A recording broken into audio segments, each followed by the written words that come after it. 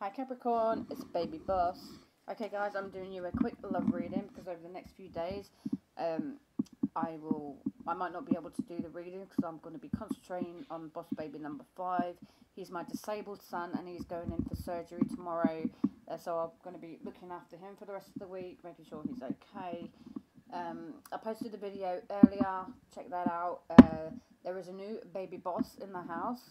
So check out our, our new little addition to the family. Anyway, let's get on with this reading because I need to get up extremely early in the morning to get to the hospital. Anyway, right, uh, Capricorn. What does Capricorn need to know? Okay. Right, you've got worth waiting for. Divine timing is at work in your love life. Your ex is coming back. You're not releasing your ex. Okay, this was in the reverse. So the time has come to clear your energy. Okay, this is a reconciliation. You are not letting go of your ex, they're not letting go of you. This is divine timing. If you've been separated, the divine timing is you're coming back together. Okay? Oh, I've heard for just one last thing. Uh, oh, no, they're saying don't take them cards. Okay. They want to go straight to the messages. I'm getting told off now. I'm supposed to be in bed sleeping right now.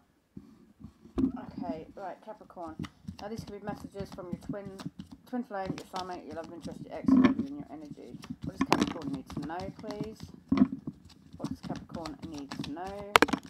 I've just heard there she blows. I don't know what that's about. Okay, don't change anything about yourself. That's who I am in love with. If I only had you, then everything would be perfect. And you are overthinking this. I just want to fuck, buddy. Charming. Okay, who is this person for Capricorn? Someone's trying to block my throat chakra.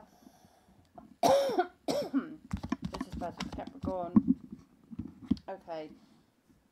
Um, this could be a Cancer, Pisces, Scorpio, King of Cups. They've got one foot in and one foot out of the connection. Okay. They're coming in.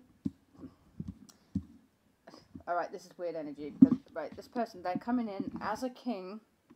Okay they're coming in as a boss type, you know, someone who knows what they want, they're very emotional, they're quite spiritual person as well, but what they're offering you is a page, okay?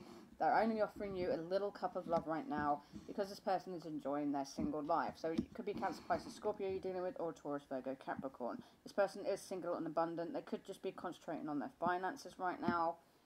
Okay, so let's just get you a bit more clarity here, Capricorn. Who is this person? Capricorn is dealing with, who's this person Capricorn is dealing with. Okay, you could be dealing with a Sagittarius, fire sign. Okay, so Aries, Leo, Sag, fire energy. Virgo at the bottom of the deck and Leo. Yeah, so heavy fire. Okay, with a little bit of earth. Alright, Capricorn, that was your reading, my loves.